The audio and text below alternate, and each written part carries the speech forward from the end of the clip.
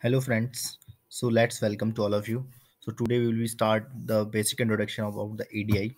What is EDI and how we can use uh, the EDI? What are the segments like we, generally perform in this daily life routine for the EDI transaction set. So we will just review in this video. So please be continue and be stay in with me for this video. So EDI uh, and ANSI X12 standard documents are covered by the various mm, that uh, covered by the versions like there are multiple versions are there usually in the numeric form like 430 okay and 5010 as well.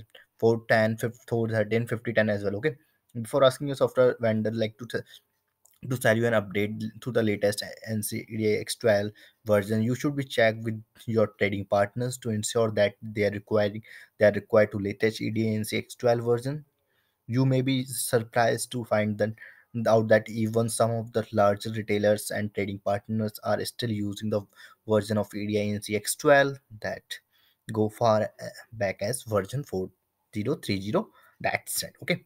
So the we, we are talking about the benefit of the EDIs. What are the major benefits we can see?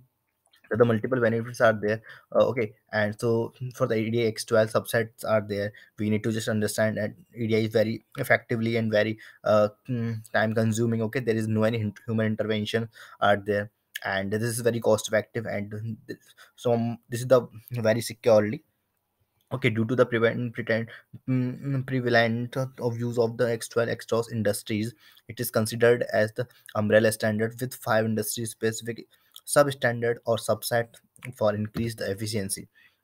The five function transaction set or subset included like uh, communication and controls okay and finance as well and transportations supply chain and insurance okay. So these are the five main mm, transit set or subset included in, in generally industries we generally use okay. For example mm, for the ansi x12 if we are using that uh, mm, industry uses a subset ucs it for its edi communication and appeal retails uses vics okay industry specific x12 subset like, HIPAA. Okay, HIPAA is Health Insurance Portability and Accountability Act, which is generally used for protecting the protecting the information of the uh, hospital like for the for their personal information phi information and pi information as well and protect and ensure to protect the HIPAA alliance okay The- so this is the act which is established in the us healthcare okay in the us government in 1997 okay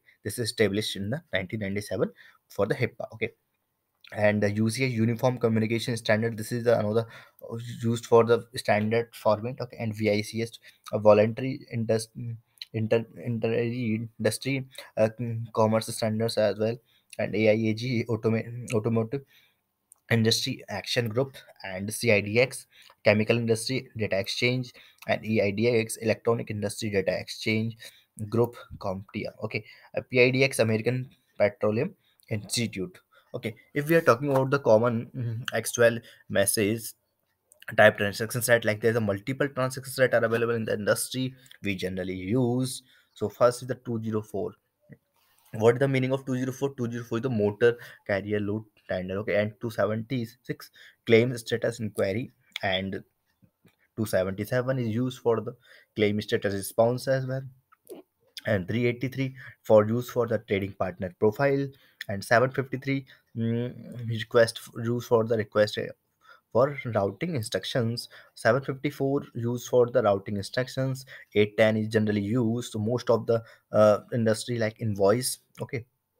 820 used for the payment order uh, remittance emit eft and 830 is used for the planning schedule material release.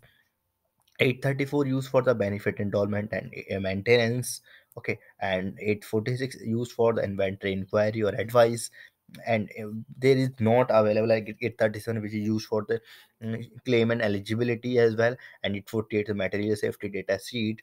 850 used for the purchase order this is very important and most of the industry are generally used this, this is for this 850 like purchasing order for the billing as well. And 852 for the product activity data and 55 used for the uh, purchase order acknowledgement. Once the order is purchased and then we then sender will get the acknowledgement of the purchase order. And 56 the sh- ship notice manifest. Asn 858 mm, used for the shipment information bill to bill of landing Lading and 859 used for foreign invoice, mm, freight, sorry, freight invoice, mm, and 861 used for the receiving advice, and 990 used for the load taken response, and 997 also used for the function acknowledgement as well.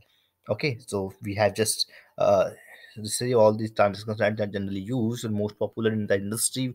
There's a multiple trading partners used for this transaction set in their own uh, industry as per their requested okay as per their requirement they generally use there's the x12 envelope system like enveloping of the data pairs how many data pairs are available for building the files like for the 834 of any transaction set files.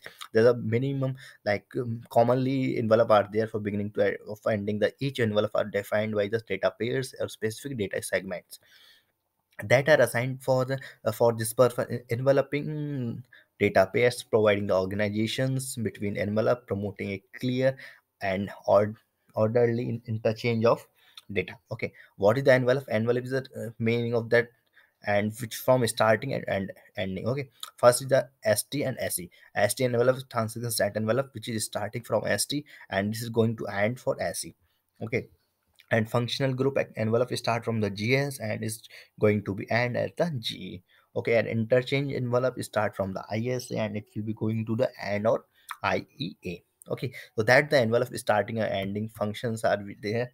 So this is the mm, flow chart of the uh, all transactions that for starting and ending envelope ISA start from interchange control header and it's going to be interchange control trailer going to be end at envelope IEA okay and GS start from the functional group header and GS uh, segment is going to be end at the functional group trailer mm, envelope with the GE okay and st start from trans um, transaction set header and it's going to be and and the se uh, transaction set trailer envelope okay so and uh, G and GS start from the G and GS start from the function group header and it's going to and not G envelope. Okay, so these are the detail segments for, and detail segments, for example, like benefit endowment, all this communication with mm, transport trailer there.